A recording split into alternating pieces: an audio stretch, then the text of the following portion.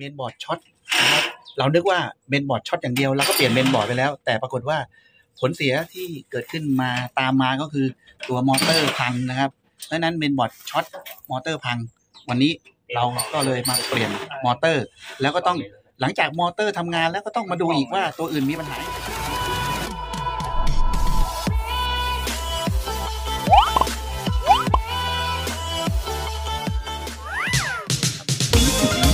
เรียบร้อยครับติดแล้วครับ โอเคครับเรียบร้อยครับติดแล้วครับ วันนี้นะครับเราจะมาเปลี่ยนมอเตอร์ที่พัดลมคอยล์ร้อนนะครับ ครั้งที่แล้วเนี่ยเราเจอเมนบอร์ดช็อตนะครับเรานึกว่าเมนบอร์ดช็อตอย่างเดียวเราก็เปลี่ยนเมนบอร์ดไปแล้ว แต่ปรากฏว่าผลเสียที่เกิดขึ้นมาตามมาก็คือตัวมอเตอร์พังนะครับดังนั้นเมนบอร์ดช็อตมอเตอร์พัง วันนี้เราก็เลยมาเปลี่ยนมอเตอร์ แล้วก็ต้อง หลังจากมอเตอร์ทำงานแล้วก็ต้องมาดูอีกว่าตัวอื่นมีปัญหาไหมเนี่ยมันจะเป็นต่อเนื่องกันเรื่อยๆเมนบอร์ดช็อตไม่ใช่ช็อตแค่เมนบอร์ดไม่ใช่แค่เปลี่ยนแต่ตัวอื่นอาจมีผลกระทบเพราะนั้นเราต้องแก้ทีละข้อครั้งแรกเปลี่ยนเมนบอร์ดครั้งสองนี่เปลี่ยนมอเตอร์นะครับช่างกำลังถอดเดี๋ยวมาดูกันก่อนว่ามอเตอร์จะพังอย่างเดียวไม่มีตัวอื่นพังต่อเนื่องด้วยไหมตอนนี้เราก็จะถอด ตัว cover ออกฝาครอบนะครับเดี๋ยวเราจะเปลี่ยนมอเตอร์ตัวนี้นะครับก็นี่ก็คือตัวมอเตอร์ครับมองใกล้ๆนี่นี่ครับ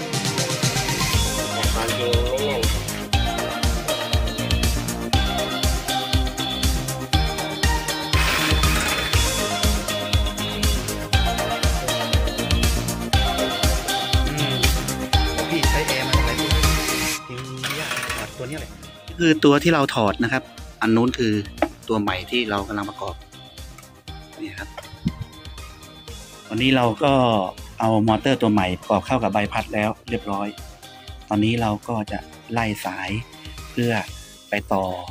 กับข้อต่อที่อยู่ตัวที่เมนบอร์ดนู่นแล้วเดี๋ยวเราก็จะติดตั้งติดตั้งตัวนี้โดยการไขน็อตแล้วก็จะทดสอบว่ามันหมุนไหม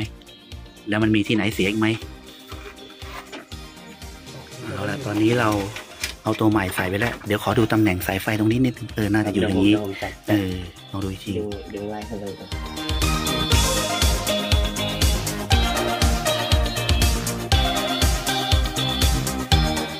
เดินสายเข้ามาแล้วนะครับ มาต่อเข้ากับตัวเมนบอร์ดแล้วเอาละเดี๋ยวเราจะทดสอบเดี๋ยวลองเปิดแอร์นี่เราเปิดแอร์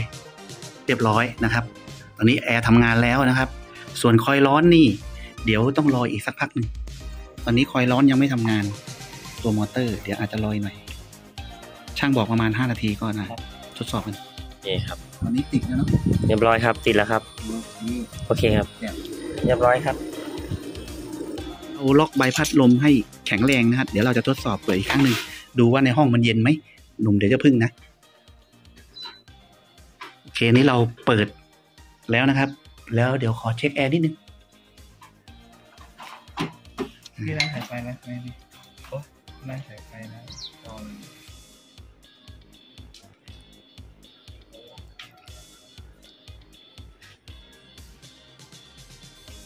โอเค ถือว่าความเย็นทำงานปกติแล้วนะครับ ก็ถือว่าใช้ได้แล้ว ก็เดี๋ยวต่อไปก็เป็นการปิดเอาแล้วตอนนี้ช่างก็จะปิดตัวฝาครอบนะครับเช็คเรียบร้อย โอเค อนนี้เราทดสอบเรียบร้อยนะครับ ทั้งคอยเย็นและคอยร้อนนะครับ ตอนนี้ปิดฝาครอบเรียบร้อยนะครับเสร็จเรียบร้อยนะครับสำหรับวันนี้นะครับ ตอนนี้เราก็เปลี่ยนมอเตอร์ไปแล้ว เรียบร้อย แล้วเราก็ test ระบบการทำงานถือว่าทำงานได้ เนี่ยครับคือปัญหาที่เกิดขึ้นต่อเนื่อง เมื่อเมนบอร์ดระเบิดนะครับ เราเปลี่ยนไปแล้วครั้งที่แล้ว และอันเนี้ยเราเพิ่งมาใส่มอเตอร์นะครับ เพราะว่าต้องสั่งของนานหน่อย ตอนนี้เราติดตั้งมอเตอร์เรียบร้อยและทำงานเรียบร้อยแล้วนะครับตอนนี้แอร์ก็ทำงานได้แล้วนะครับก็วันนี้ก่อนจบนะครับ ผมก็จะบอกไอ้เหตุที่เมนบอร์ดระเบิดเนี่ยเกิดขึ้นได้หลายสาเหตุนะครับหนึ่งไฟฟ้าลัดวงจร โดยเฉพาะเรื่องของการเดินระบบสายไฟนะครับ เดินไม่ตรงเดินผิดกับไดอะแกรมของอ่าบริษัทมิสูนะครับ คุณเดินตามใจคุณเองเนี่ยมีโอกาสแน่นอน เพราะเมื่อไรที่ไฟมีการกระตุกหรือเออไฟเกิดมีปัญหาไฟ เออตกอย่างเงี้ยมันก็เกิดขึ้นได้นะครับ อย่างที่2เมนบอร์ดมันก็สามารถระเบิดได้ตลอดเวลาเมื่อไฟตกบ่อยๆอย่างเนี้ยครับเกิดขึ้นได้แน่นอนเพราะฉะนั้นโครงการเนี้ยไฟตกบ่อยมากนะครับเพราะฉะนั้นสองสาเหตุเนี้ยมันจึงต้องเป็นความรับผิดชอบของทางโครงการนะครับ แต่เราก็ต้องขอบคุณโครงการนะครับ ที่เปลี่ยนแมนบอร์ดให้เราฟรีแต่มอเตอร์ที่เป็นผลกระทบมาด้วยแล้วพังด้วยเนี่ย เราเปลี่ยนเองเราไม่ไปรบกวนโครงการนะครับ เพราะว่าเราก็ถือว่าโอเค เท่านี้มันก็โอเคแล้วนะครับ เพราะฉะนั้นใครก็แล้วแต่นะครับที่ซื้อบ้านในโครงการต่างๆนะครับ แล้วแล้วคุณไม่ยอมจ้างบริษัทที่ตรวจงานมาตรวจนะครับ คุณจะเสียใจภายหลัง นี่ขนาดผมจ้างบริษัทมาตรวจนะ แต่ระหว่างตรวจในการตรวจเนี่ยมันยังไม่ได้ทำงานถูกไหมแต่เราพอใช้งานไปสักปีหนึ่งแอมก็เริ่มเกิดปัญหา นี่แหละคือผลตามมาที่จะเกิดขึ้นได้ ถ้า คนเดินแอร์เดิน